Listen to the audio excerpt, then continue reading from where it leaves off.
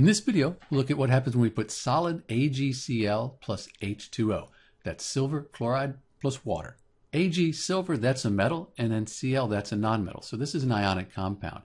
When we have an ionic compound, usually, but not always, they dissolve in water. When we have a chloride, this chlorine here attached to a metal, that also usually dissolves in water. But we should check a solubility table just to make sure that we don't have one of the exceptions. So let's do that.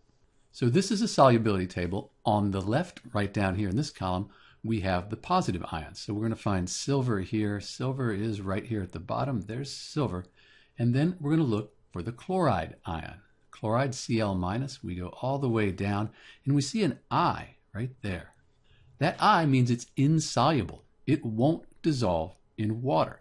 So when you put solid silver chloride in water, it's not going to dissolve. Let's go back to our equation.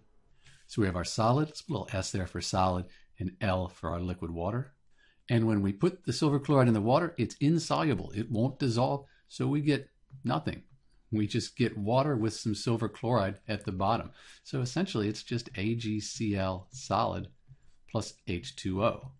So essentially, nothing happens. This is Dr. B with AgCl plus H2O, and thanks for watching.